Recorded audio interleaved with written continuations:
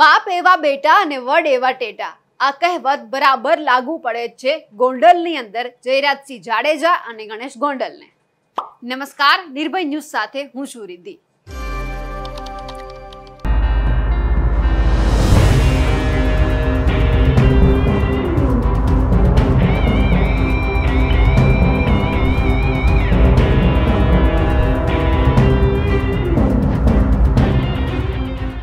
આજનો દિવસ જાડેજા પરિવાર માટે અત્યંત મહત્વનો છે.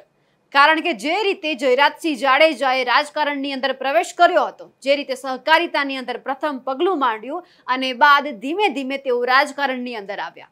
તે જ રીતે હવે પોતાના દીકરા ગણેશને પણ સહકારિતા દ્વારા રાજકારણની અંદર લઈ આવવા માટે હવે તેઓ તૈયાર છે. આજે ગોંડલ સહકારિતા નાગરિક બેંક છે, તેમની ચૂંટણી છે.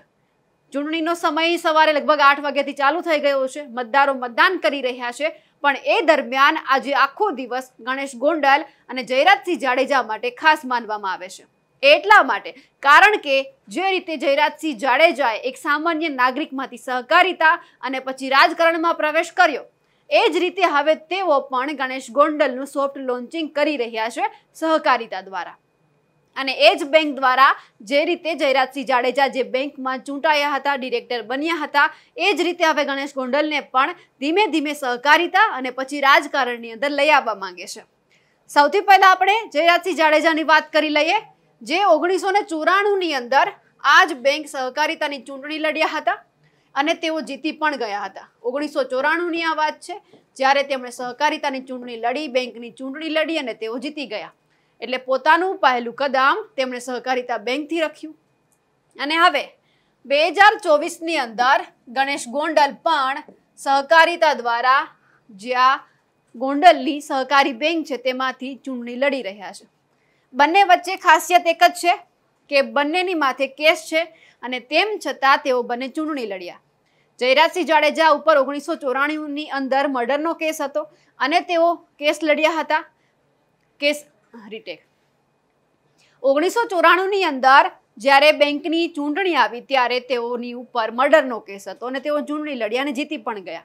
અને તેમના સુપુત્ર ઉપર કેસ છે અપહરણનો, મારામારીનો. અને તેઓ પણ આ ચૂંટણી લડી રહ્યા છે. એટલે નકશે કદમ ઉપર ગણેશ ગોંડલ ચાલી રહ્યો છે અને કહેવાય છે ને કે મોરના ઈંડાને ચિતરવા ન પડે.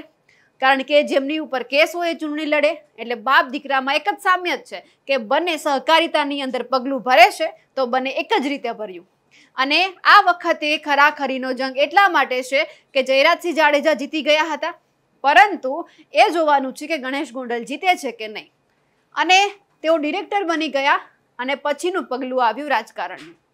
બે હજાર સાતની અંદર એમએલએની ચૂંટણી લડવાની હતી. પણ સદનસીબે લગભગ તેઓ હારી ગયા. અને બીજા કોઈ વ્યક્તિ જીતી ગયા, એટલે કે રાજકારણની અંદર ત્યારે તેમનું આવવાનું સપનું અધૂરું રહી ગયું. પણ તેઓ ઈચ્છી રહ્યા છે કે ગણેશ ગોંડલ છે, સહકારિતાની ચૂંટણી લડે, બેંકના ડિરેક્ટર બને અને એ પછી તેઓ રાજકારણની અંદર આવે. એટલે ક્યાંક ને ક્યાંક જેવું બાપે કર્યું છે, એવું દીકરો પણ કરી રહ્યો છે અને જયરાજસિંહ જાડેજા પણ એવું માની રહ્યા છે કે મેં જે રીતે સહકારિતામાં પગલું ભર્યું, જે રીતે રાજકારણમાં પગલું ભર્યું, એ જ રીતે હું મારા ગણેશ ગોંડલને પણ ધીમે ધીમે સહકારિતા દ્વારા અને એના પછી રાજકારણમાં એન્ટ્રી કરાવીશ. અને મુદ્દો એક છે કે સહકારિતા દ્વારા જ તેઓ રાજકારણમાં આવ્યા. ગણેશ ગોંડલ જેલમાં છે, ચૂંટણી લડી રહ્યો છે અને લગભગ આ પહેલો દાખલો એવો છે કે સહકારિતામાં ગણેશ ગોંડલ જેવો આ પહેલો વ્યક્તિ કે જે બેંકમાં ચૂંટણી લડે છે, તો તે જેલમાં બેઠો છે. તેમણે દાખલો પણ સાબિત કરી બતાવ્યો. સહકારિતા ક્ષેત્રે અત્યારે ઘણા બધા મોટા માથાઓ છે, જેમાં હવે ગણેશ ગોંડલનું નામ પણ ઉમેરાવા જઈ રહ્યું છે. એ હવે આજે સાંજ પડતા પડતા ખબર પડી જશે કે ગણેશ ગોંડલ સહકારિતા બેંકની આ ડિરેક્ટર પદ માટે ચૂંટાઈને આવે છે કે નહીં. કારણ કે જ્યારે પણ રાજકારણની વાત આવે, ત્યારે આ પરિવારનો દબદબો છે. અને સૌથી મોટો સવાલ એ છે કે લગભગ સાઠ હજાર જેટલા જે મતદારો છે, તે મતદાન કરવાના છે. અને તેમાં લગભગ બારથી પંદર હજાર જેટલા જ મતદારો છે તે મત આપવા આવવાના છે. એટલે ક્યાંક અહીંયા પણ ખરાખરીનો જંગ છે. જેલમાં બેસીને પણ ગણેશ ગોંડલ ચૂંટણી લડી રહ્યા છે, અસ્તિત્વની લડાઈ છે અને સોફ્ટ લોન્ચિંગ રાજકારણની અંદર પહેલા સહકારિતાથી કરી રહ્યા છે. આમની પહેલા આપણે વિઠ્ઠલ રાદડિયા, જયેશ રાદડિયામાં પણ જોયું હતું. હવે જયરાજસિંહ જાડેજા અને ગણેશ ગોંડલમાં પણ એવું જ બની રહ્યું છે. આજનો દિવસ જાડેજા પરિવાર માટે એટલા માટે ખાસ છે આ જે બેંક છે, એમના ડિરેક્ટર પદ માટે જયરાજસિંહ જાડેજાનો આજે છેલ્લો દિવસ છે. આજે એમની ટર્મ પૂરી થાય છે. એટલે જો કદાચ જયરાજસિંહ જાડેજાનું આજે ટર્મ પૂરી થઈ ગઈ અને ગણેશ ગોંડલા ચૂંટણી ના જીત્યા, તો જાડેજા પરિવાર માટે અસ્તિત્વની લડાઈ અહીંયા સમાપ્ત થઈ જશે. સહકારિતાના નામે મીંડું થઈ જશે. ફરી એક વખત તેમને રાજકારણની અંદર, સહકારિતાની અંદર આવવા માટે પોતાનો દબદબો સાબિત કરવો પડશે. આ વખતે પણ એ જ સાબિત થવાનું છે કે જો રાજકારણમાં તમારે આવવું હોય તો તમારે સહકારિતાનો સહારો તો લેવો જ પડશે. અને બધા જ લોકો જે અત્યારે પોતાને રાજકારણના આખા કહી રહ્યા છે તે તમામ લોકો સહકારિતા ને પછી રાજકારણમાં આવ્યા છે. વિઠ્ઠલ રાદડિયાના, જયેશ રાદડિયામાં પણ જોયું, ગણેશ ગોંડલમાં પણ હવે એવું થવા જઈ રહ્યું છે, પણ પ્રશ્ન જ ચિહ્ન છે. શું ગણેશ ગોંડલ ડિરેક્ટર બનશે? એ તો હવે આજના આખા દિવસ દરમિયાન સાંજે ખબર પડી જશે કે ગણેશ ગોંડલ ડિરેક્ટર બને છે કે નહીં, પણ નકશે કદમ ઉપર તો જરૂર તે તેના પપ્પાનો ચાલી રહ્યો છે. અને જે આપણે પહેલા પણ કહેવત સાંભળી કે બાપ એવા બેટા એટલે કે બંને ઉપર કેસ છે, છતાં ચૂંટણી લડે છે, એકે જીતીને બતાવી હતી, બીજાને આજે જીતવાની આશા પણ એમના ઉપર છે કે જીતીને બતાવશે. પણ સવાલ તો હજુ એ જ છે કે જો જીતશે તો કઈ રીતે તેઓ બેંકને સાથ સહકાર આપશે? કારણ કે ઘણા બધા નિવેદનો સામે આવ્યા હતા કે ગણેશ ગોંડલ બહાર આવી રહ્યો છે, પરંતુ તેમની મુસીબતમાં ઓછું થવાનું જે નામ નથી લેતી ને ધીમે ધીમે વધી રહી છે.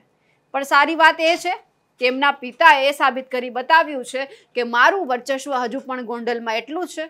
હું ધારું તો કંઈ પણ કરી શકું. અને ખાસ વાત કે જ્યારે લિસ્ટ બહાર પડ્યું હતું કે કયા લોકો છે જ્યાં ચૂંટણી લડવાના છે, તેમાં સૌથી પહેલું નામ હતું જયરાજસિંહ જાડેજા. પણ તેમને મેન્ડેટ નહોતું આપવામાં આવ્યું, તેમ છતાં તેમણે ફોર્મ ભર્યું.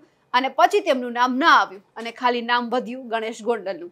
ભાજપે તેમને મેન્ડેટ આપ્યું, ગણેશ ગોંડલે મેન્ડેટ સ્વીકાર્યું અને ફોર્મ ભર્યું અને હવે તેઓ ચૂંટણી લડી રહ્યા છે. એટલે કે હવે આ વર્ચસ્વની લડાઈમાં જયરાજસિંહનું આજે પત્તું હવે પૂરું થવા જઈ રહ્યું છે, એમનો કાર્યકાળ પૂરો થવા જઈ રહ્યો છે અને જો ગણેશ ગોંડલ જીતશે તો જાડેજા ફરી એક વખત જાડેજા પરિવાર છે તેમનો સૂરજ ઉગવાનો છે સહકારિતા ક્ષેત્રે. હવે આજે સાંજ પડતા પડતા બધું જ ક્લિયર થઈ જવાનું છે. અસ્તિત્વની લડાઈમાં કોણ જીતે છે? અમારા અહેવાલ વિશે આપનું શું કહેવું છે? કમેન્ટ કરીને ચોક્કસથી જણાવજો. સાથે જ નિર્ભય ન્યૂઝને લાઇક શેર અને સબસ્ક્રાઇબ કરવાનું ભૂલશો નહીં. નમસ્કાર.